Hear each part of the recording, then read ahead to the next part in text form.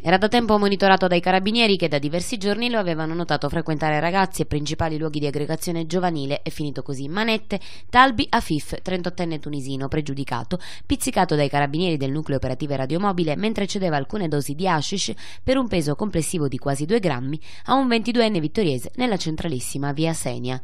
L'attività, frutto di appositi servizi di osservazione e pedinamento per monitorarne i movimenti e le abitudini di vita, aveva consentito di appurare le strane frequentazioni del tunisino con diversi giovani.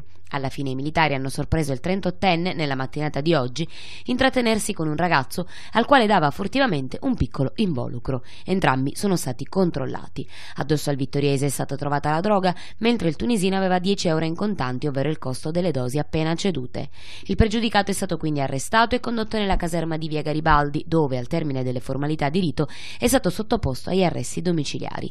Qui resterà a disposizione del sostituto procuratore della Repubblica, Francesco Riccio, dinanzi al quale dovrà rispondere del reato di spaccio.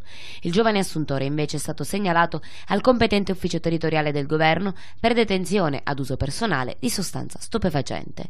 Ora al vaio degli investigatori che stanno proseguendo le indagini la posizione del tunisino per accertare l'eventuale complicità di altri criminali e il canale di approvvigionamento della droga. La sostanza stupefacente sequestrata è già stata inviata al laboratorio di sanità pubblica dell'azienda sanitaria provinciale di Ragusa al fine di stabilirne il principio attivo e il numero di dosi ricavabili, sequestrato anche il denaro contante.